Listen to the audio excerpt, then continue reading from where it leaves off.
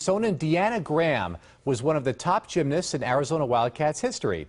Nine on your sides, Kayla Anderson catches up with Deanna, who's bending over backwards on her new venture.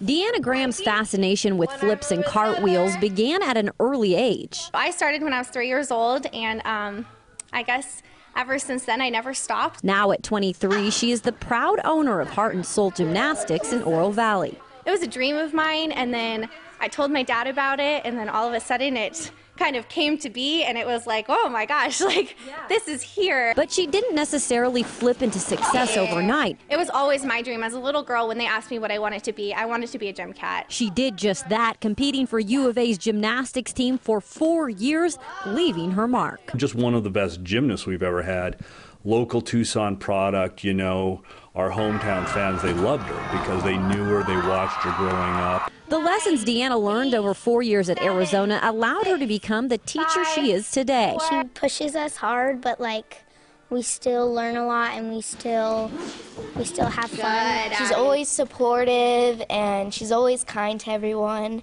and I just really like that about her. And Deanna's biggest goal at Heart and Soul is to make sure everyone gets the opportunity to be a gymnast. In Oro Valley, Kayla Anderson, KGUN 9 Sports.